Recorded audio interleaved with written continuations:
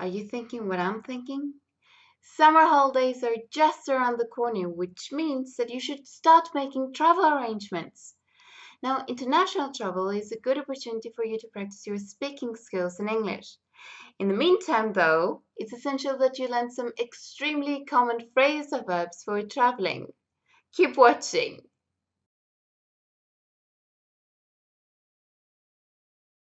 Hello there, I'm Demi from Broad Horizons English.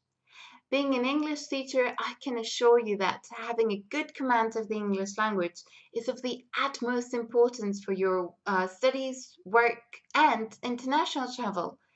Now, to make your life easier as a traveling tourist, today I'm going to teach you 10 travel related phrasal verbs through a short story. Now, let's get started. In order to take a break from routine, you have taken some time off work and decide to plan a little getaway.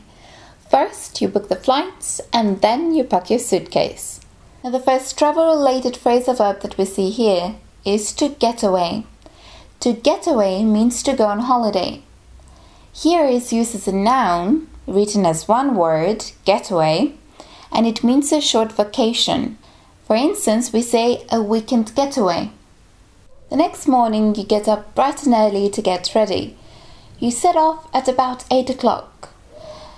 In this case, the phrasal verb we're interested in is to set off. To set off means to begin traveling, to begin a journey. You dash to the bus stop to catch the bus to the airport. Once you get on the bus and take a seat, it zips away. To get on means to enter, to enter a bus, train, or plane. Time goes by quickly, and before you know it, you're at the airport. You grab your suitcase and get off the bus. To get off means to leave, to leave a bus, train, or plane. Once inside, you hear someone saying your name. You look around and you realize that your boyfriend has come all the way to the airport to see you off. So sweet of him.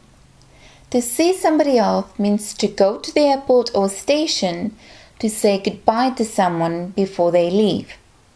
After waving goodbye to your boyfriend, you go and wait in the queue to check in. To check in means to arrive and register at a hotel or airport. You do this whole process at what we call the check in desk. Okay. 45 minutes later, everyone has boarded the plane, which is now about to take off.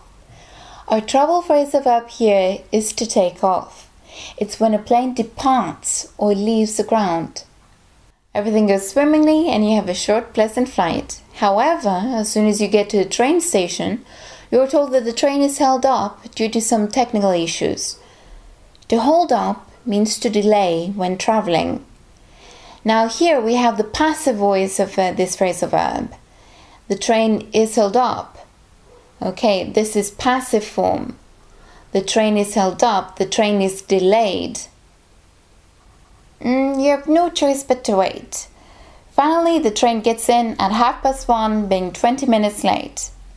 Here is another common phrasal verb for traveling.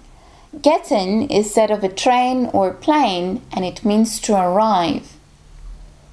What time is the plane expected to get in? The train got in at 8 o'clock sharp. All good things must come to an end, so after three amazing days of complete relaxation at the luxurious hotel, it's time for you to check out and go back home.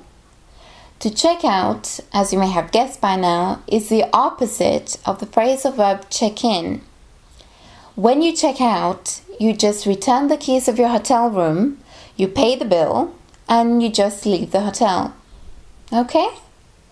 These are the 10 travel related phrasal verbs you've just learned all in one place. I do hope they come in handy during your next trip or vacation. That's all for now, you guys. So if you found this lesson enjoyable, please give it a big thumbs up, share, and subscribe. See you in the next video. Bye!